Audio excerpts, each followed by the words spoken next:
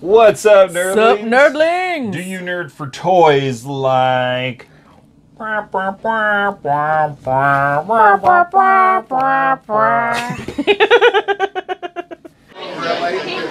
the question. Do you nerd? Do you nerd? Do you nerd? If we like it, we nerd it.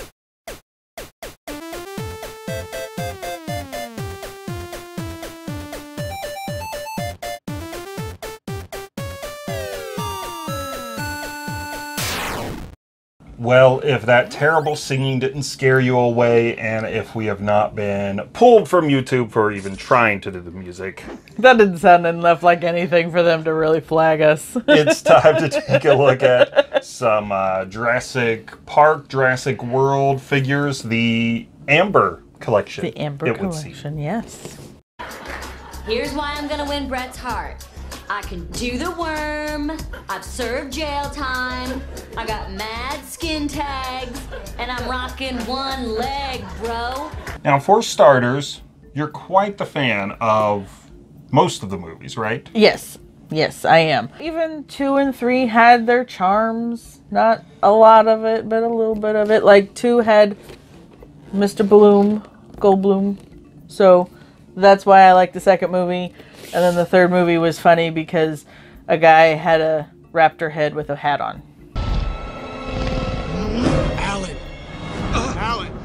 And in all honesty, the uh, the first Jurassic World, they did really They did. Mm-hmm. well with that. Uh, the second one, The second one again had Owen, so I really liked it. I did not. I really, really didn't like when they were leaving all the dinosaurs on the island and the volcano was erupting. I mean, I almost walked out of the theater for that. That was so sad. and I will say, I went from one childhood crush to an adulthood crush, so I really enjoy the Jurassic movies. Oh, I would let Jeff Goldblum redacted my redacted. You have to fill in your own redact, redactions. I would love, but I'm, I'm thinking of something. I would love Jeff Goldblum. Wow, jeez. born free, free as the dinos. And look at that, they have stands. They do. They come with their own little piece of amber. I like when toys come with stands because then you don't have to track some stands down, Mm-hmm. and it makes it that much easier to display them. Look, he's like a blizzard.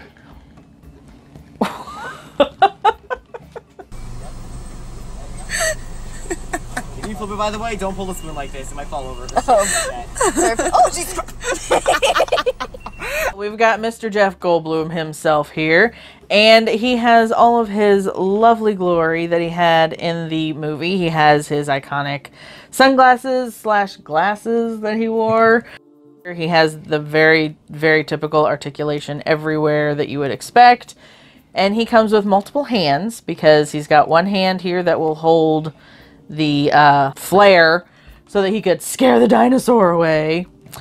And he also comes with two extra hands so that you can change it out so he doesn't have to be holding the flare, just a normal hand. And then this hand over here you can change out, and so that hand will hold the water glass if you want him to, because he's thirsty a lot.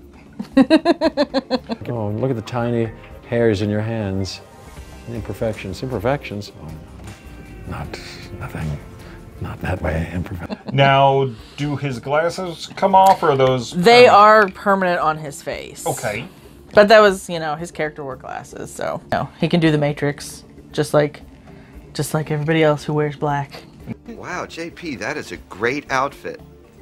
How much do clothes cost in the Matrix? He's got a lot of really good detail. I mean, uh, you know, he's got his I don't know whether blue jeans, his black jeans, but his even down to his biker Oh, nice. his That biker good attention to detail. boots and everything on there. And it looks just like Mr. Blue, Goldblum. Well, Owen Grady here. Um, so it looks like we've got the Peter Bateman action figure. True story. We met Peter because we thought he looked like you know, Star Lord. Which is actually what we called him for a long time. When we were out game hunting once with him, some kids came up to him and asked if he knew he looked exactly like Chris Pratt. Oh my gosh, that was exciting. But they did do a really good job on the face mold here. I mean, Chris Pratt does have a very distinct face. And a very good they- looking, they- distinct face. Oh gosh. Yeah. And the detail of him is really well done too. Of course, he's got his vest on, and it's that very malleable plastic.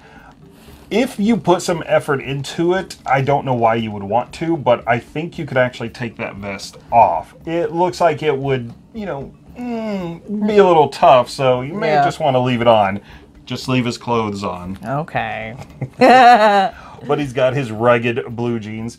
And if you look really close, they're kind of splattered with like some grease and grime and everything. And he's got his watch on, which, a nice touch, it is twisted around so that the face of the watch is on the underside of his arm.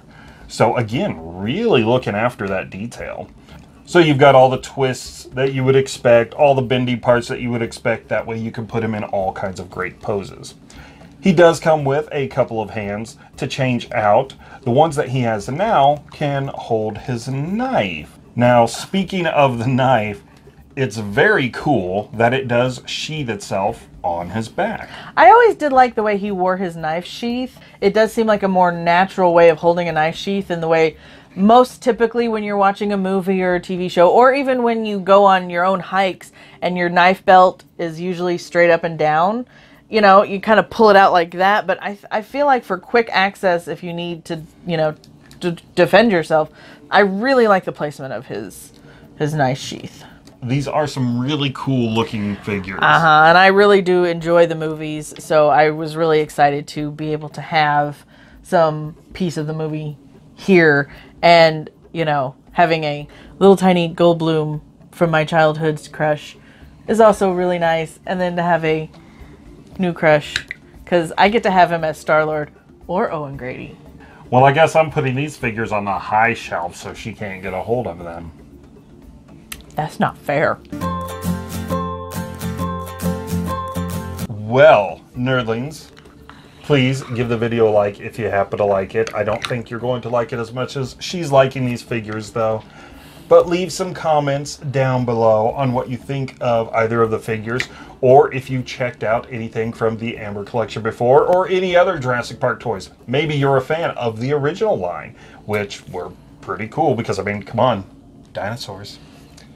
And don't forget to subscribe, hit that notification bell, and uh, you know, watch your water. Make sure it's not shaking too much. Don't forget to like us on Facebook, Twitter, and Instagram. Go over to TeePublic because we have merchandise over there. Hit us up on the Retro Refresh, and if we like it, we nerd it. and I do like it a lot.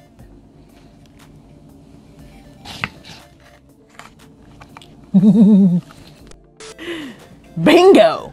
Dino DNA!